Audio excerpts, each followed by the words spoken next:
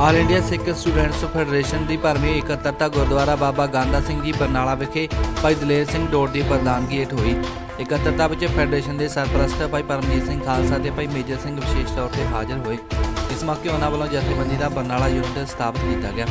ਸਥਾਪਿਤ ਕੀਤੇ ਗਏ ਯੂਨਿਟ ਵਿੱਚ ਭਾਈ ਭਗਤ ਸਿੰਘ ਨੂੰ ਜ਼ਿਲ੍ਹਾ ਪ੍ਰਧਾਨ ਭਾਈ ਸੁਖਵਿੰਦਰ ਸਿੰਘ ਨੂੰ ਜਨਰਲ ਸਕੱਤਰ, ਭਾਈ ਮੋਹਕਮ ਸਿੰਘ ਨੂੰ ਮੀਤ ਪ੍ਰਧਾਨ, ਜਗਸੀਰ ਸਿੰਘ ਨੂੰ ਪ੍ਰੈਸ ਸਕੱਤਰ ਤੇ ਜਰਨੈਲ ਸਿੰਘ ਨੂੰ ਸਲਾਹਕਾਰ ਬਣਾਇਆ ਗਿਆ।